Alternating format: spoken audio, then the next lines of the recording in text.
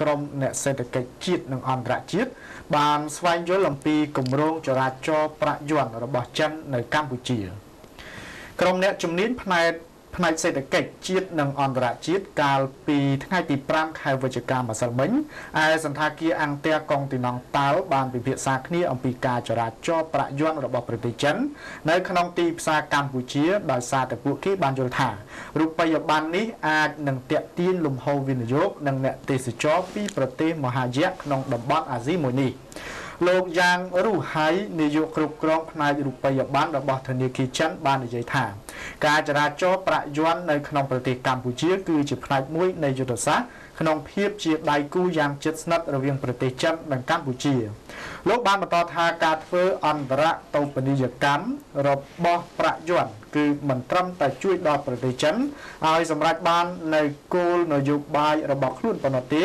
ថែមទាំងបង្កើននៅឱកាសវិនិយោគនិងសម្របសម្រួលផ្នែកពាណិជ្ជកម្មឆ្លងដែនទៀតផង ពិសេសការធ្វើពាណិជ្ជកម្មដែលតាក់ទងទៅដល់ការដូរសាច់ប្រាក់លោកស្រីនីវចន្ទថាណាទេសាភិបាលរងធនធានជាតិនៃកម្ពុជា បានគ្រប់គ្រងឲ្យមានប្រាក់យន្តនៅកម្ពុជាដោយលោកស្រីបានលើកឡើងថារូបិយប័ណ្ណរបស់ប្រទេសចិននេះមានសារៈសំខាន់ណាស់ក្នុងការគ្រប់គ្រងរក្សាទុក លោកស្រីក៏បានមានប្រសាសន៍ទៀតផងដែរថានេះគឺជាឱកាសដែលត្រូវធ្វើឲ្យប្រសើរឡើងនៅការផ្ដល់ទំនុកចិត្តដល់អ្នកវិនិយោគនិងលើកកម្ពស់សមាហរណកម្មក្នុងតំបន់ លោកស្រីបានបន្តថាអ្នកវិនិយោគចិនគឺជាដៃគូយ៉ាងសំខាន់របស់កម្ពុជា ក្នុងចំណោមទំហំទឹកប្រាក់សរុប4000លានដុល្លារអាមេរិកក្នុងឆ្នាំ2014ហើយសង្ឃឹមថាការវិនិយោគរបស់ភាគីចិននឹងមានកំណើនពីមួយឆ្នាំទៅមួយឆ្នាំបន្តទៀត